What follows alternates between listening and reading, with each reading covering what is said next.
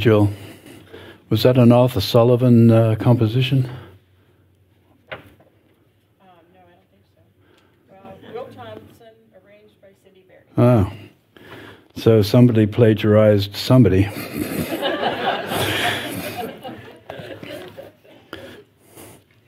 Good morning, everyone. Good morning. In this jolly, snowy day. Um, when a uh, job took me, uh, took us transferred up to upstate New York to the Finger Lakes region. Uh, when we were there uh, a week or two, we went to, we were trying out churches, and we went to one just south of Ithaca. And it was uh, not a, a, cold day, maybe th- for there anyway. It was 35 degrees, um, cloudy, but not a lowering sky. And uh, we went inside and I suppose the service lasted about an hour and 10 minutes. Uh, and uh, it was blinded. All the windows, like here, were blinded. And uh, it was a good thing because it was a very excellent sermon given by a visiting, um, a visiting uh, university professor, uh, a, uh, and he didn't look nearly old enough to be a university professor, but that's a problem that I have, not them. But, you know. but at any rate, um, it was an excellent sermon. And uh, had it not been for the blinds, uh, he would not have been listened to as assiduously as he was, because when we emerged from the building, there was four inches of snow. I mean, it all just must have come tumbling down in that amount of time.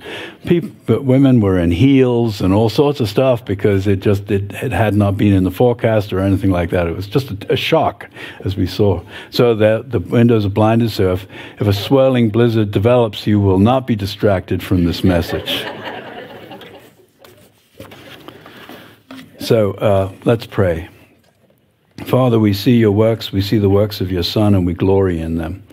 And here we have uh, the, the privilege and the opportunity to uh, witness uh, yet another uh, miracle of His. And uh, we ask your blessing on our time uh, in the Word. We pray this in Christ's name. Amen. If you want to get to Luke 17 in your Bibles, and we're going to be starting with verse 11. the you know that we are we are attempting uh, a cr- chronological uh, approach to the uh, Gospels, and so we move from Gospel to Gospel. We're following a track uh, that was laid out by uh, Ariel Ministries, and uh,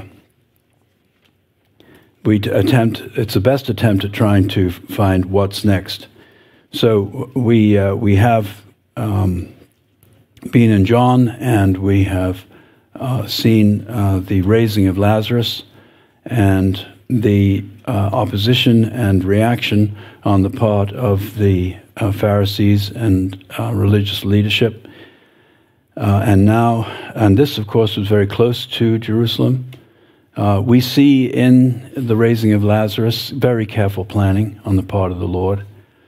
And when we in this, and perhaps really began my realization of, of how of how planned and organized it was was from from that uh, last feast of tabernacles, and we saw the set piece battles going on between the Lord and the uh, religious leadership. We see there the, the density of their um, prejudice, and we see how they think they're scoring points and they're not. We see the, the majesty and the power of Christ. And it, occurred to me, it occurred to me that this sounds like another, another time. It has elements of another time. And that is the time when the Lord was talking to Pharaoh and he wanted to bring his people out of bondage. And that's what Christ wants for his people to come out of bondage. And he talked to Pharaoh by his power. He talked to him in plagues, dreadful plagues. And Pharaoh's hard, hard heart, hardened from him and hardened by the Lord, would not give in. And if you look at it a little bit like that, you see, of course, it's different because they're, they're miracles still, but they're miracles, they're good miracles. People are being healed, people are being saved, people uh, are raised from the dead. And if you look at it, you see that the intensity and the size of these miracles is increasing. You've got, and when you see the man born blind, uh, born blind, given sight, no one has ever done that before that has given sight to a man born blind. And you know, of course, that the brain forgets the eyes. His brain never did know his eyes. And so he could have a perfect set of eyes plopped right in his head, and it wouldn't do any good. Everything, the minutest detail, has to be accomplished for that. And then we see the raising of Lazarus. No one has raised anybody from the dead who's been in the grave for four days. No one. These are, you see their reaction. This was very ably covered by John uh, as uh, last week. You see that they wanted to kill Lazarus as well. That's the smoking gun on this thing. That shows that it's absolutely true. And so it's not Pharaoh anymore, it's the Pharisees. And he is ramping up their condemnation with these miracles and this testimony. We're only weeks away from the crucifixion when indeed an act will take place which will free the people from bondage if they wish and if they will believe. Just as the first Passover was the last in the plagues that freed the people of Israel from the bondage of the Egyptians. And so I want to read just to get our hearts all stirred up about this. I want to read Psalm 2. Because these cats in Jerusalem think they're in charge. They think they're, they think they've got a good plot going to kill Jesus. How wrong they are. Psalm 2. Why do the nations rage and the peoples plot in vain? The kings of the earth set themselves and the rulers take counsel together against the Lord and against his anointed, saying, Let us burst their bonds apart and cast away their cords from us. He who sits in the heavens laughs. The Lord holds them in derision. Then he will speak to them in his wrath and terrify them in his fury, saying, As for me, I have set my king on Zion, my holy hill. I will tell of the decree. The Lord said to me, You are my son. Today I have begotten you. Ask of me, and I will make the nations your heritage, and the ends of the earth your possession. You shall break them with a rod of iron, and dash them in pieces like pot- a potter's vessel. Now, therefore, O kings, be wise, be warned, O rulers of the earth. Serve the Lord with fear and rejoice with trembling. Kiss the Son, lest he be angry and you perish in the way, for his wrath is quickly kindled. Blessed are all who take refuge in him. They are not going to win this battle. The Lord is winning the whole time. He's in charge. And he's got another miracle here and we're going to take a look at this and see how interesting it is. So, he is on the way to Jerusalem. Verse 11 of Luke chapter 17. He is on the way to Jerusalem. He was passing along between Samaria and Galilee. So, this gives us a clue as to what we will discover later is that there is a mixed constitution in this group of lepers. And as he entered the village, he was met by ten lepers who stood at a distance. Now, leprosy is a term used uh, generically in the Bible to cover a number of skin ailments, of, of manifest skin ailments. Uh, of course, the skin is the largest organ in the body. And when your skin is in trouble, you're in big trouble. People who have all over skin diseases suffer horribly, horribly. Now, this thing can be something anywhere between a flaking of the skin all the way up to the big one, which is now called um, Hansen's, I think it's Hansen's disease, Hans, Hansen's disease, uh, because of a, of a Norwegian uh, uh, doctor, a researcher. Uh, it's named after him in these days. Uh, there, there is no uh, cure. has there is no cure at this time for Hansen's disease. In fact, not until the 20th century was there a cure for it. But also, it's not deadly in of itself. Uh, if we if we're talking about um, Hansen's disease, but uh, let's see uh, if we look here at uh, what the Lord uh, has told His people about about uh, leprosy. So in Numbers chapter five.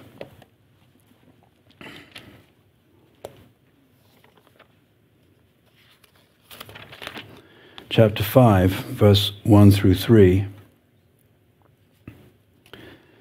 The Lord spoke to Moses, saying, Command the people of Israel that they put out of the camp everyone who is leprous or has a discharge, and everyone who is unclean through contract, contact with the dead. You shall put both male and female, putting them outside the camp that they may not defile that camp in the midst of which I dwell. And the people of Israel did so, and put them outside the camp, as the Lord said to Moses. So the people of Israel did. So this was pretty serious. I mean, being put outside the camp means that you're outside the protection, you're outside the community. I mean, it is, it's awful. It's awful. Undoubtedly, people would bring food out to them uh, and so forth and care in their way but uh, you're no longer in society anymore. There's another uh, reference that we have to uh, leprosy, which is uh, interesting in Exodus. I'm sure you all know this, uh, where uh, the Lord is talking to Moses and giving him his ministry. And down in chapter 4 of Exodus, down in in uh, the point where he is giving him the staff. He says, You know, what is in your hand? This is verse 2. He says, A staff. And he said, Throw it on the ground. So he threw it on the ground, and it became a serpent. And Moses ran from it. But the Lord said to Moses, Put out your hand and catch it by the tail. So he put out his hand and caught it, and it became the staff in his hand. And of course, this is at, this is at the request of Moses because he wants he says, well, how, how, why is anybody going to listen to me? Which is a valid statement. And so he gives him this, this, this trick, as it were, that he can do, this miracle. And then uh, he says again in verse 6, he says, Again, the Lord said to him, Put your hand inside your cloak. And he put his hand inside his cloak, and he took it out, and behold, it was leprous, like snow. Then the Lord said, Put your hand back inside your cloak. So he put his hand inside, back inside the cloak and when he took it out, behold, it was restored like the rest of his flesh. These are attention getting uh, elements here. It's so, so it's, it's, uh, if you, if you put uh, next to the serpent, which is the icon, icon of evil, uh, then uh, leprosy is next to it, and it's, uh, not, it's not very pleasant. Um, we saw in the very ably read passage this morning, uh, the, that, uh, that leprosy is used, can be used as a punishment. Gehazi is punished with leprosy. Now, whether or not Naaman was punished with leprosy or not, I don't know, because we don't get much more on Naaman than, uh, Naaman than that. But Gehazi, definitely, this was a, and it was a, a punishment that was to be handed down to, to generations because of what he did lying, cheating, stealing. Well, when somebody is afflicted with something, there's a natural tendency on all of us to come up with a reason why they have been thus afflicted. And so now everyone has an excuse to assume that leprosy is a punishment for wrongdoing. Uh, we see that um, when uh, when Miriam is it is it is it Miriam? I'm sure I'm I've lost my uh, I've lost my um, my reference on it where they're they're grumbling against Moses and uh, and uh, she gets leprosy and is put out of the, uh, of the camp for seven days. That was a punishment for grumbling against Moses' leadership. So we have uh, that. We also have uh, the, uh, oh, it's in Numbers 12, 116. So we also have the example of uh, the king Uzziah. Uh, he had gone into the temple and wanted to uh, wanted to present fire at um, in in part of it, burn incense rather, burn incense, and uh, he became leprous uh, as a punishment for doing this. So it is associated with evil. It is associated with is associated with uh, punishment. So Hansen's disease is, is interesting because it's a sort of it's a sort of narrative about our own our own evil. It's not deadly in of itself, but what it does is this leprosy grows most vociferously in the uh, in your skin, but it also grows throughout the rest of your body. But it does so faster in the skin and you lose, and it, it attacks the nerve, so you lose your sense of touch. So, what happens is if you don't have a sense of touch, you don't have any feelings in your extremities or on your skin, your skin, you injure yourself. You just naturally, in the course of your life, you injure yourself. I remember when you pick something up, it's hot. You know. Now, it can get quite hot and the signal from the skin to the brain is fast enough for you to pull it away without scalding. It can be so hot that it, it doesn't happen in time, like a stove or something like that, and it will burn. I remember remarking to a young woman at work, and I said how extraordinary it is that we do have that facility to get that signal into the brain to be able to move fast enough out of something that's burning, that's going to burn us or scald us. And she said, uh, Yes, isn't it wonderful how we evolved that way? Okay. Well, that's the th- wrong thing to say to an ancient Christian, I'll tell you that right now. I said, What do you mean? There were armies of people who were, had their hands burned because they hadn't evolved enough to be able to take it away from a hot kettle or something? It wasn't, it actually wasn't a very kind interview on my part. But when somebody says something perfectly fatuous, it's very difficult to be nice afterwards.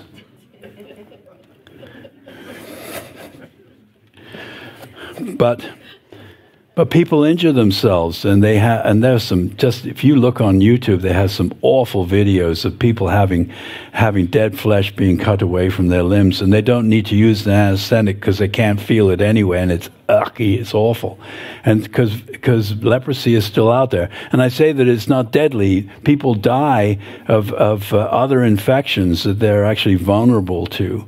Okay, so this this thing goes on for a long time. And then I'm thinking about how, how it is an example.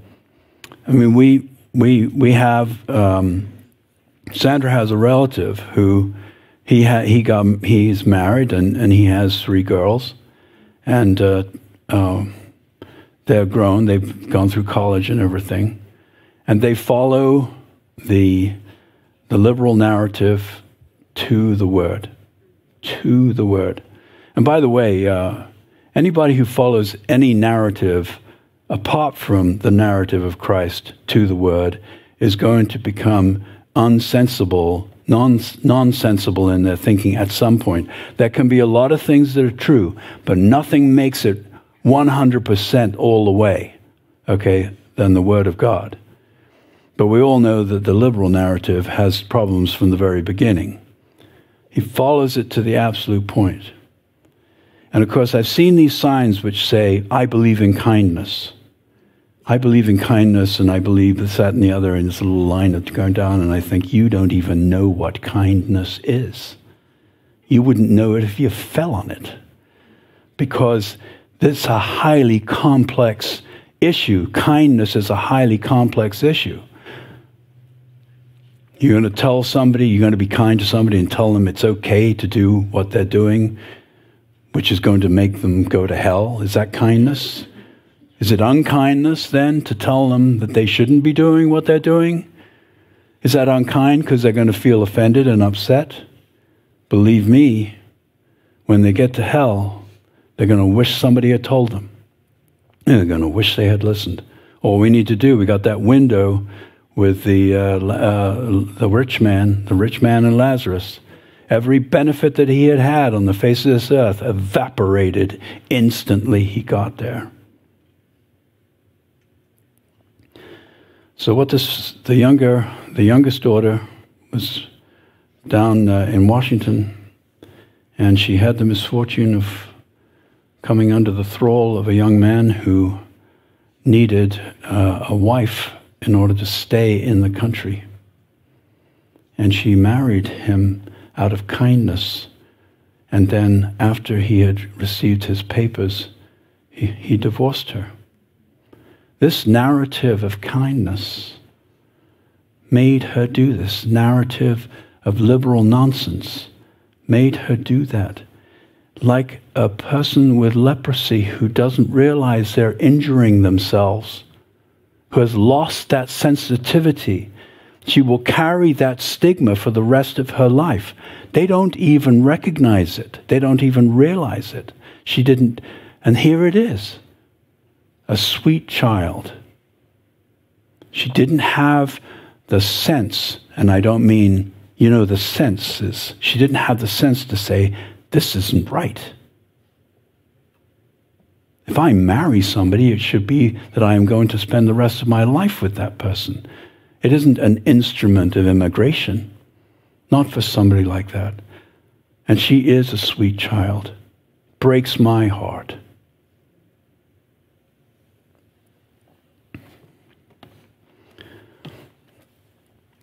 So, there's these ten lepers. And as he entered, verse 12, as he entered the village, he was met by ten lepers who stood at a distance. Of course, they would because they're out. And lifted up their voices, saying, Jesus, Master, have mercy on us. And so they they say his name, Yeshua, or the uh, Aramaic uh, equivalent, and they call him Master, like Rabbi. And so they have recognized in him who he is, but not necessarily his great power. But they have heard of it, and they ask for mercy. Very common in the approaches to the Lord where people are asking for healing. They just ask for mercy. and he, when he saw them, he said to them, Go and show yourselves to the priest. So, he doesn't say, I'll heal you. He doesn't say, I'll have mercy on you. He simply tells them to do something. And we see, we know, we see this with Naaman. Elisha didn't even come out and talk to him. He didn't have a ceremony or anything like this. Go wash seven times in the Jordan. Go. And this is what Jesus is saying. He's saying, Go to the priests. Of course, in this it's a laden statement because that's what you do when you get cured. You go to the priests. And look, remember the man who was born blind. He puts paste on his eyes, tells him to go wash in the pool of Siloam. And then he receives his sight. And it says, as they went, they were cleansed. Well, 10 people obeying an order, pretty good. It may well be that I have to speculate about these things. Sandra tells me not to do it, but I have to speculate. I think, you know, there are probably one or two guys who really had it, and so they started out, and then the rest followed. It really, and she'll say, What does it matter? And I'll say, Yes, it does matter, you know. so that's my little speculation, okay? But they all got, they all went. We don't know how far they had to go to get to, to get the healing, but they obeyed. And it says, Then one of them, when he saw that he was healed, turning back, praising God with a loud voice, and he fell on his face at Jesus' feet, giving him thanks. Now he was a Samaritan. And so, you know, as uh, the fact that they were on that border, it's not surprising. You can see that uh, the society of lepers uh, doesn't have the same prejudices as uh, the regular society. Samaritans could hang out with Jews under those circumstances because it was just a miserable state. But the man came back. The man came back and did what the blind man uh, did. Uh, he, he worshiped the Lord.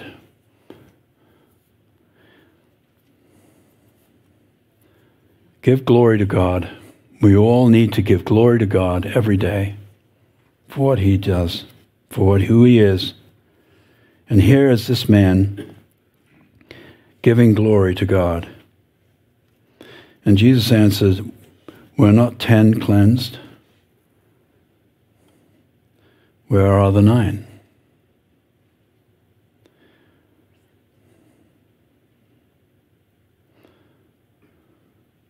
Was no one found to return and give praise to God except this foreigner? So we see uh, this man, like Naaman, a foreigner as well, gave praise to God. Now we come to another long passage. So shuffle around in your seats and get relaxed or awake. Because here's what here's what the Lord is doing. I mean, of course, it's a wonderful thing to heal these people, etc. But there's a method. And what he's doing is he's going to bundle nine people all at once down. Some commentators say they will have had to have gone to Jerusalem. That's, that's 60, 70 miles away. I don't know quite how that works. I don't know enough about this. And so I am sorry about my uh, ignorance there. But we're going to go to Numbers, sorry, Leviticus chapter 13.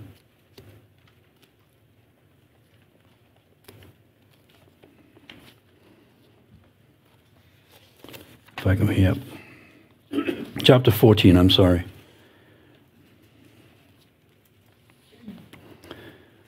So I'm going to read this, and it's going to be long.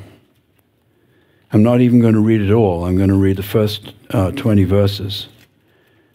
Now, I want you to think about the reaction. Now, he, he, has not, he has only healed a number of people once before, and that was two blind men. Now, in Matthew, there are two more two man healings, but they're not corroborated in the other two Gospels, Luke and Mark. Luke and Mark, they're one person. But Matthew has an earlier healing of a blind of two blind men, although he touches both of them, okay? So that's the only multiple healing per se that he's taken. And here he's healing 10 men in one shot, okay, and sending them down. In chapter 14, verse 1, the Lord spoke to Moses, saying, This shall be the law of the leprous person for the day of his cleansing. He shall be brought to the priest, and the priest shall go out of the camp. The priest shall look. Then, if the case of leprous disease is healed in the leprous person, the priest shall command them to take for him who is to be cleansed two live, clean birds, and cedarwood, and scarlet yarn, and hyssop. And the priest shall command them to kill one of the birds in an earthenware vessel over fresh water. He shall take the live bird with the cedar wood and the scarlet yarn and the hyssop, and dip them and the live bird in blood, in the, in the blood of the bird that was killed over the fresh water. And he shall sprinkle it seven times on him who is to be cleansed by the leprous disease. So as we listen to this, multiply it by nine because there are nine people coming down. Here it is, boys. You don't believe in me? Well, get to work. Then he shall pronounce him clean, and shall let the living bird go into the open field. And he who is to be cleansed shall wash his clothes and shave off all his hair, and bathe himself in water, and he shall be clean, and after that he may come into the camp. But live outside his tent for seven days. And on the seventh day he shall shave off all his hair from his head and his beard and his eyebrows, and he shall shave off all his hair, and then shall wash his clothes and bathe in his body in water, and shall be clean. And on the eighth day he shall make two male take two male lambs without blemish, and one ewe lamb. Okay, so that's twenty-seven lambs. A year old without blemish, and a grain offering of three tenths of an ephah of fine flour mixed with oil, and one log of oil the priest who cleanses him shall set the man who is to be cleansed and these things before the Lord at the entrance of the tent of meeting. And the priest shall take, well, where, we, where we're saying tent of meeting, we're now talking temple, of course. And the priest shall take one of the male lambs and offer it for a guilt offering along with a log of oil and wave them for a wave offering before the Lord. And they shall kill the lamb in the place where kill they kill the sin offering and the burnt offering in the place of the sanctuary, for the guilt offering, like the sin offering, belongs to the priest. It is most holy. The priest shall take some of the blood of the guilt offering, and the priest shall put it on the lobe of the right ear of him who has been cleansed, and on the thumb of his right hand, and on the big toe of his right foot, nine times. Then the priest shall take some of the log of oil and pour it in the palm of his own left hand, and dip his right finger in the oil that is in the left hand, and sprinkle some oil with his finger seven times before the Lord. One, two, three, four, five, six, seven. This is the guy you're going to kill, is it? This is who's done this. This is the guy you're going to kill. I see. Makes a lot of sense, right? Nine people cured of leprosy. And some of the oil that remains in his hand, the priest shall put on the lobe of the right ear of him who is to be cleansed and on the thumb of his right hand, and on the big toe of his right foot, on top of the blood of the guilt offering.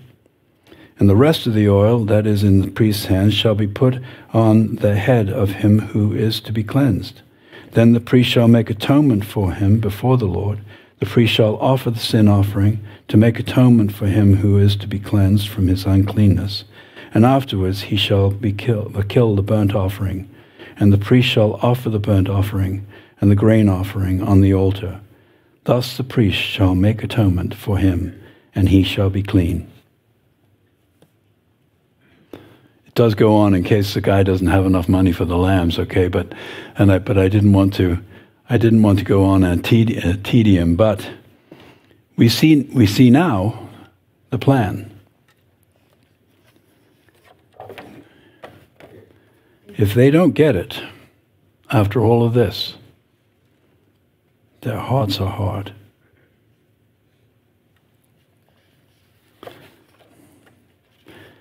So they're taking, going back to uh, going back to Naaman.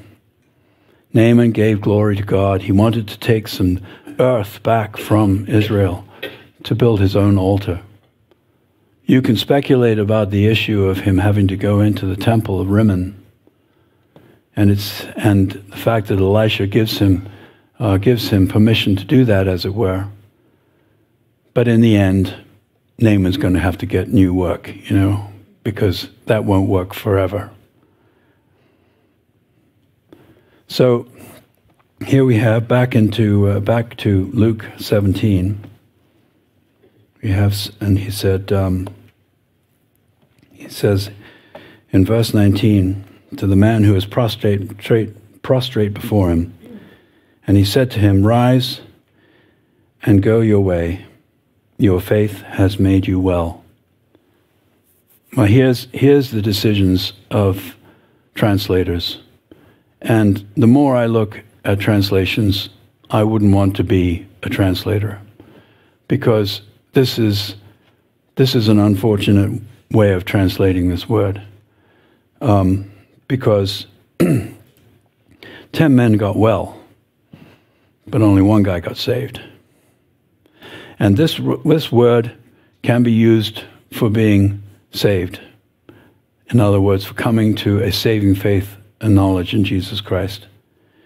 The, only the King James comes close by saying, It has made you whole. But they can't be credited totally for that because it's an ornate way of saying that you're well. So I, I'm altering this translation to say, Your faith has made you saved, has saved your soul. I sincerely hope that this is not an indication of the proportion of people dying or will who ultimately at the end of the age will die. I hope that those saved are not only 10% of the population. I remember readings uh, where where they, they had talked about a falling away in the 19, I think it was the 1930s or 40s, 1930s maybe, uh, falling away from Christianity in, in uh, Britain. And Lewis uh, maintained that it was not a falling away at all. It was just that uh, chapel in universities was no longer compulsory. And so you really found out who the real, the real Christians were. Um, I know it was compulsory in the school that I went to, uh, and I, I'm pretty sure that had it been voluntary, there would have been a tiny amount going. So this is uh, just more of, uh, of the Lord's plans for the people as it comes closer to his crucifixion. We've got actually quite a few Sundays to go before then, so you can see how concentrated everything becomes and intense this great battle goes on. Let's pray. Thank you, Lord, for uh, for the uh, your word and uh, for this information about this healing. We thank you. Thank you for that Samaritan who came back and gave glory to you. Let us give glory to you at all times. And let it cleanse us. In Christ's name we pray. Amen.